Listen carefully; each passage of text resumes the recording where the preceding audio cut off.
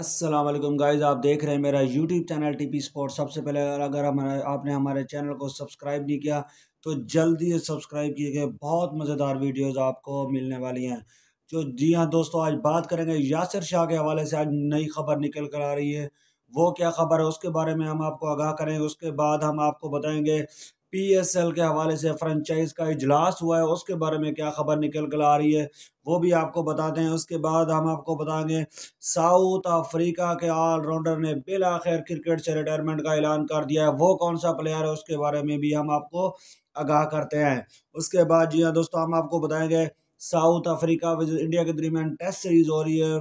उस मैच के match start हो चुका है तो उसके बारे में क्या सूरत हाल है, किस कब, कहाँ तक मैच पहुँचा है, उसके बारे में भी हम आपको आगाह करते हैं। उसके बाद हम आपको बताएँगे, लाहौर कलंदर दमादम मस्त कलंदर, लाहौर कलंदर के हवाले से खबर निकल कर आ रही है।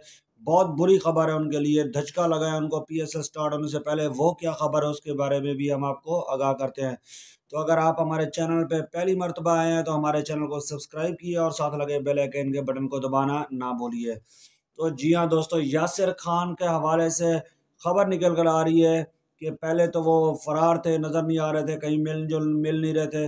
तो आज उसके बारे खबर जो उसका दोस्त और इसके ऊपर मुतासरा लड़की ने केस किया था फरहान और यासिर शाह के ऊपर।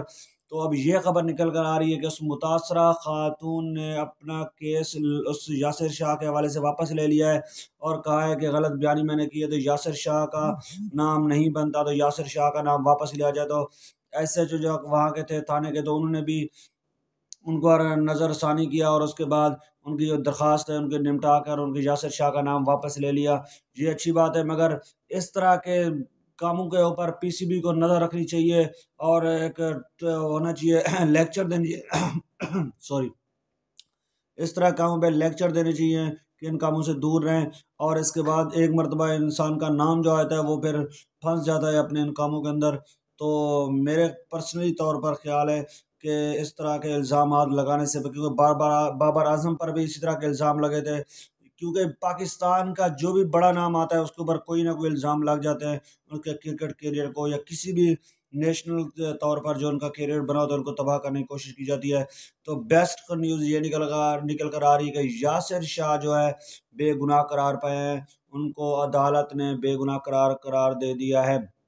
और उनका एफ़ आई आर का जो नाम दर्ज था, मुतासरा खातून ने भी उनका, उनके कहने का ऊपर जो एस एच ओ थे, वहाँ के उन्होंने नाम वापस ले लिया है। तो जी हाँ दोस्तों, उसके बाद हम बात करेंगे पीएसएल के हवाले से, क्योंकि जितने दिन करीब आते जा रहे हैं, पीएसएल का नाम जगह जगमगाता जा रहा है, पूरे पाकिस्तान के अंदर, हर जगह पीएसएल पीएसएल पीएसएल होता जा रहा है। तो जी हाँ हम आपको बताएँगे, आज मीटिंग हुई है पीसीबी के आला अहदेदार और फ्रेंचाइज के जो आनर है, वो थे उस इजलास के अंदर तो उनके अंदर ये कहना था कि जो भी हो जाए, कोरोना केसेस जितने भी आ जाए इन पाकिस्तान सुपर लीग के तमाम मैचेस होंगे और इसके अंदर कोई मैच कैंसिल नहीं किया जाएगा क्योंकि बीस रुकनी स्क्वाड हर टीम के पास मौजूद होगा। अगर सात प्लेयर भी, आठ प्लेयर भी कोरोना का शिकार होते हैं, तब भी बारह रुकनी स्क्वाड उनके पास मौजूद होगा तो बारह प्लेयरों के साथ वो मैच खेला जाएगा। ना कि चार पाँच टेस्ट पॉजिटिव आने के बाद टीम को मैच को पोस्ट पैंड के पोस्ट पैंड के जगह से बिल्कुल भी नहीं होगा, बल्कि उस मैच को किया जाएगा। जी हाँ अगर नौ प्लेयर्स आ जाते हैं कोरोना वायरस का शिकार हो जाते हैं तो फिर उसको मैच को कैंसिल किया जाए। मगर पीसीबी के ज़रा जो आला अहदेदार और फ्रेंचाइज के जो ऑनर थे, उनके दरमियान जो मीटिंग हुई, उनके यही का कहा गया है कि किसी सूरत पीएसएल के मैचेस कैंसिल नहीं किए जाएँगे। तो ये हमारे फैंस के लिए बहुत अच्छी खबर है वेरी गुड न्यूज़ है हमारे चाहने वालों अपने फैंस के लिए कि कोई भी पीएसएल का जो मैच है इन मनसूख नहीं होगा। पूरी आबोताब से पीएसएल होगा इन पिछले तमाम पीएसएल का रिकॉर्ड तोड़ गए इस साल इन बड़े धूम धाम से पीएसएल होगा। और इसके बाद ये खबर भी निकल कर आ रही है कि हो सकता है जनाब के आपको पीएसएल के स्टार्ट में रंगारंग अफ्ताही तकरीब ना मिले, जैसे हम कहते हैं ना कि रंगारंग अफ्ताही तकरीब जी आपको मिलने को मिलेगी, डांस मिलेंगे, सॉन्ग मिलेंगे, ये मिलेगा, वो मिलेगा, पता क्या क्या मिलेगा। तो वो इस बार आपको देखने को हो सकता है कि वो ना मिले। तो जो ये बेस्ट विशेज़ हमारी पीएसएल के साथ है कि अल्लाह ताला इसको कामयाब करे और हैवी से हैवी जो ऊपर जो ऊपर नंबरून बनाए इसको पूरी दुनिया के अंदर और पाकिस्तान का नाम रोशन हो इस चीज़ के बारे में।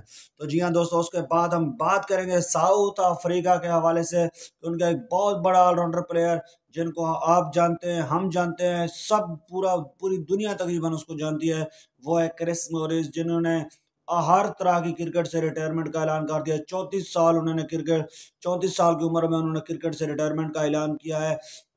उनका कहना था कि वह अपनी डोमेस्टिक टीम टाइटन्स की नुमा कोचिंग करेंगे।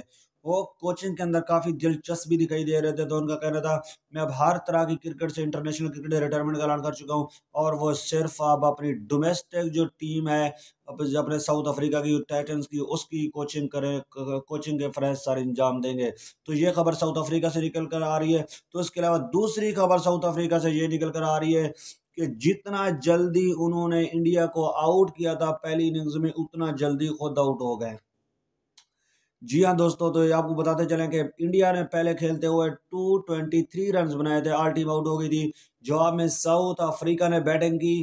Two two hundred ten run बनाए, दो सौ दस रन बनाए। उनकी आल टीम आउट हो गई पहली इनिंग्स में।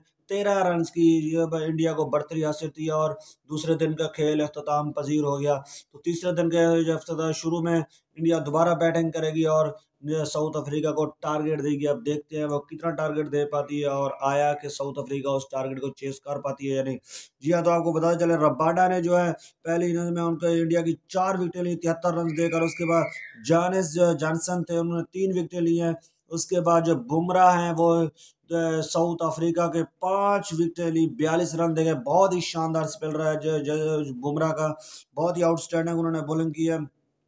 तो ये अब कल पता चलता है क्या उनकी सूरत हाल होती है। इंडिया और साउथ अफ्रीका टेस्ट किस तरफ़ जाता है? क्योंकि दिलचस्प मरहल में दाखिल हो गया है। दोनों के तकरीबन लेवल स्कोर थे। अब अगला जो टारगेट देते हैं वो कितना बड़ा देते हैं उसके बारे में अभी पता चलेगा। उसके बाद जी हाँ दोस्तों, हम बात करेंगे लाहौर कलंदर के हवाले से। बहुत बड़ी खबर बुरी खबर निकल कर आ रही है। वो ये कि अभी पी स्टार्ट भी नहीं हुआ। जिस पीएसएल एक तो पी सुपर लीग के अंदर खूबी है। कि जिस प्लेयर को सिलेक्ट करते हैं, उसका नेशनल टीम के अंदर नाम और निशान तक नहीं होता कि वे उस टीम में शामिल हो जाएगा। लेकिन जब उसका नाम पीएसएल के अंदर आ जाएगा, वो नेशनल टीम में चला जाता है। कोई ना, जिस दुनिया के कोई भी फॉरन प्लेयर है, उनको गोल्ड कैटेगरी में उठाया तो उस प्लेयर को, जी हाँ वो प्लेयर है हैरी ब्रोक्स जिनको लाहौर कलंदर ने गोल्डन कैटेगरी में पैक किया था। तो वो अभी जो इंग्लैंड और वेस्ट इंडीज़ के दरमियान सीरीज़ होने जा रही है, उसके लिए उनको मुंतखब कर लिया गया है। तो हो सकता है वो अभी मिस करें लाहौर कलंदर को। तो हो क्या सकता है, मगर कन्फर्म है कि वो लाहौर कलंदर को मिस करेंगे शुरू में। जी हाँ तो क्या उसको सेलेक्ट कर लिया गया इंग्लैंड क्रिकेट टीम के अंदर? और वो अपनी नेशनल डिप्टी बारिश होंगे और उसको सर अंजाम देंगे। तो जी हाँ दोस्तों, ये थी आज की खबरें। अगर आपने हमारे चैनल को सब्सक्राइब नहीं किया और पहली मरतबा आ रहे तो हमारे चैनल को सब्सक्राइब कीजिए क्योंकि बहुत मज़ेदार वीडियो आने क्योंकि आगे पी एस एल आ रहा है तो हमारा जोश, जज्बा, जुनून इसी तरह आगे बढ़ता जाएगा। आप हमारे साथ रहिए इन आपको बड़ी ज़बरदस्त न्यूज़ देंगे। हमारा फेसबुक पे पेज इनशाला बहुत जल्द क्रिएट होने वाला है, वो भी आपको बताएँगे। व्हाट्सएप पर भी हमारा ग्रुप क्रिएट होने वाला है। उसके बारे में इनशाला हम आपको आगाह करेंगे। और मेरी कोशिश है कि अपने चाहने वालों को, अपने दोस्तों को यूट्यूब के जो है गौर बताऊँगे। कैसे आपने उनको व्यूज़ करने हैं, अपने जो सब्सक्राइबर बढ़ाने हैं, उसके बारे में इनशाला बहुत जल्द इनशाला हम प्रोग्राम शुरू करने वाले लगे अभी सिर्फ़ और सिर्फ़ पीएसएल क्रिकेट और स्पोर्ट्स और तजिए के बारे में हम मैं अपने दोस्तों को आगाह करूँगा। तो अपने प्यारे दोस्त तारक महमूद को दीजिए इजाज़त, अपना और अपना ख्याल रखिए। अल्लाह हाफिज़।